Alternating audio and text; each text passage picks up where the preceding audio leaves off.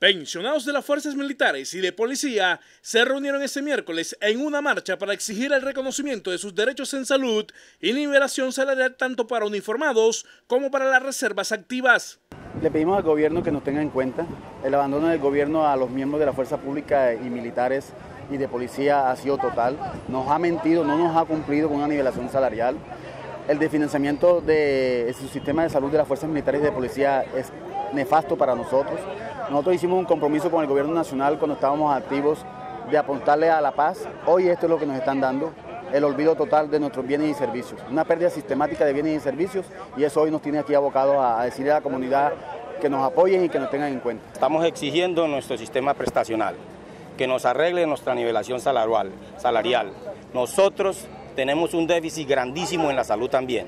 El sistema de salud está muy pésimo, la medicina especializada también todo, todo tenemos que ser con tutelas, con tutelas, con tutelas. Yo pienso que nosotros, los de la Reserva Activa, los militares y policías que hemos entregado nuestra vida, que hemos luchado, que hay compañeros inválidos, que hay viudas, que hay huérfanos, que han entregado su vida, héroes caídos en acción, que, le hemos puesto el pecho al enemigo, yo pienso que merecemos un mejor trato nosotros, los, los honorables de la Reserva Activa. No entendemos cómo después de tanto tiempo que hemos combatido el narcoterrorismo, le estén dando mejores prebendas a los terroristas que a nosotros los de la Reserva Activa. Los marchantes retirados de la Policía Nacional denunciaron una pésima atención en la clínica de la institución. Según los reservistas, esta nivelación se viene reclamando desde años anteriores, cuando los incrementos salariales estuvieron por debajo del IPC, sin que hubieran atendido los reclamos que desde entonces hacían los afectados. Esta marcha se está convocando a nivel nacional, es una iniciativa de los caminantes Siete Horas de la Patria que se eh, en, la Plaza de Bolívar precisamente para hacer una huelga de hambre y para visibilizar toda la situación que se viene aconteciendo con respecto a los integrantes de las fuerzas militares y de policía. Eh, es un acompañamiento a esa iniciativa de nuestros héroes, pero también es un acompañamiento a toda la situación que viene aconteciéndonos a nosotros a nivel nacional desde hace ya casi 40 décadas.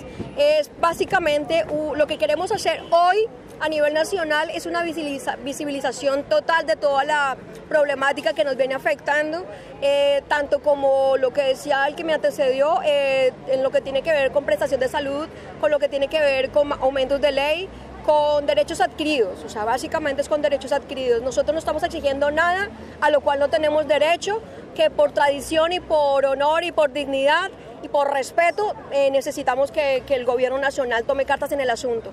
Ya no podemos esperar más a que los bandidos eh, tengan todas las, las, prebendas que tienen hoy día, que hasta curules tienen, y nosotros ni siquiera siendo los héroes de la patria, los que pusimos el pecho, las balas, tenemos viudas, tenemos eh, huérfanos son los señores de las FARC, los señores de la LENA, disculpen porque ahora toca llamarles honorables senadores y, y representantes a la Cámara. Entonces, básicamente es eso. Reclamaron además que en el centro asistencial no haya servicios con especialistas.